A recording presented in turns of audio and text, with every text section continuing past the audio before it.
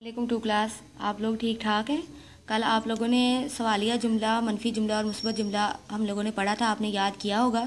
ठीक है? अच्छी तरह से उसको याद रखना है। आपने पेपर्स की तैयारी बहुत अच्छी रखनी है। आगे हम दरख्वास्त बरए रुखसत बीमारी पढ़ेंगे।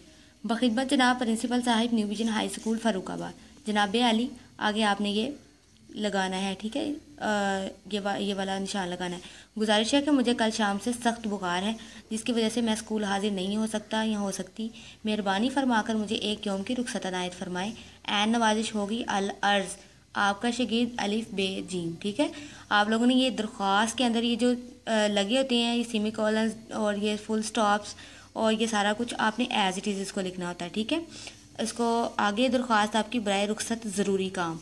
बखिदमत जनाब, principal Sahib new vision high school Farrukhabad, जनाब आली आगे ये वाला साइन आपने लगाना है। गुजारिश है कि मुझे घर पर ज़रूरी काम है, जिसकी वजह से मैं स्कूल हाजिर नहीं हो सकता।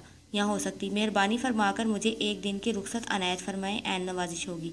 अल अर्स आपका शकीर या आपकी शकीर अलिफ बे जीम। या आपने दो दरख्वास्तें जो है इसको अच्छी तरह से याद करना है, ठीक है? अच्छी तरह से पहले इसको रीड किया करें ऊपर से और देखा करें कि वर्ड किस तरह से लिखे हुए हैं, ठीक है?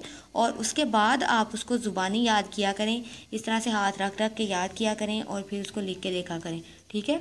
आपने ये दो दरख्वास्तें आप याद करनी है।